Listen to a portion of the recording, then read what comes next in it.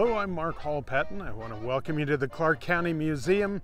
You know, when you come out here and you go through the houses, you'll notice that we're constantly changing things, doing different seasons, different um, holidays, that sort of thing. But sometimes you might see an artifact that you'll look at and say, now, why did they choose that? We're going to go inside the townsite house behind me today and take a look at just such an artifact and give you an idea of some of the thinking that goes into the choices that we make on what artifacts are put on display.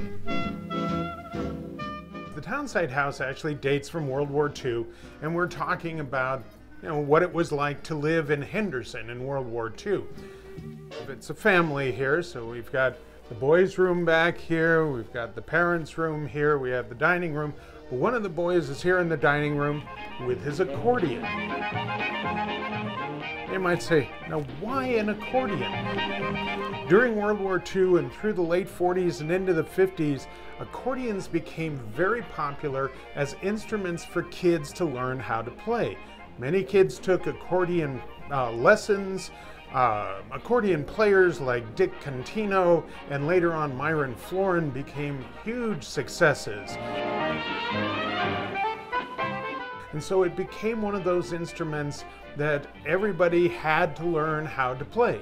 So we have an accordion in the collection, and at this point in time, if you come out to the museum, you'll see the accordion here. When we look at what we're going to use to sort of accessorize the rooms, if I can use that term, we want to use something that is correct to the time period and help talk about what life was like at that time. You know, this was a period of time, as I say, where accordions got very famous and very popular, so why not show that?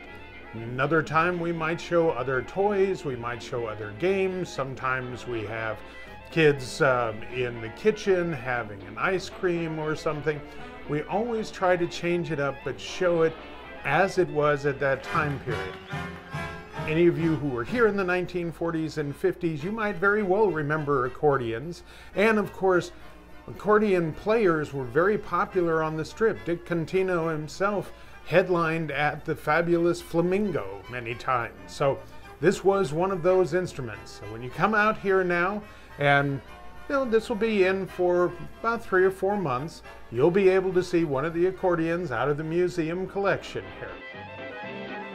So when you come out to the County Museum, you'll be able to see this as well, as well as the other 30 acres here. We hope that you will come back and remember, you know, we are only open seven days a week. It's hard to find us open.